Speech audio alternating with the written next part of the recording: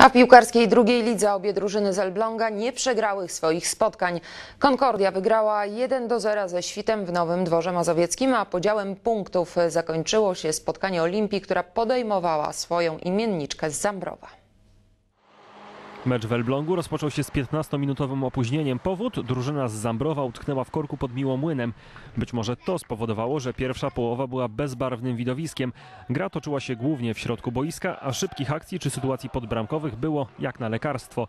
Kibice na stadionie w Elblągu bramek w pierwszej części spotkania nie zobaczyli. Pierwsza połowa to raczej takie badanie się obydwu zespołów i za wiele tych sytuacji nie było. Więcej emocji było w drugiej połowie. Gospodarze grali uważnie w obronie i wyprowadzali groźne kontry, z których kilka mogło zakończyć się bramką. To, że ostatecznie mecz zakończył się bezbramkowym remisem jest zasługą przede wszystkim dobrej gry obu bramkarzy. Ja myślę, że w tym spotkaniu to jest my stracili dwa punkty.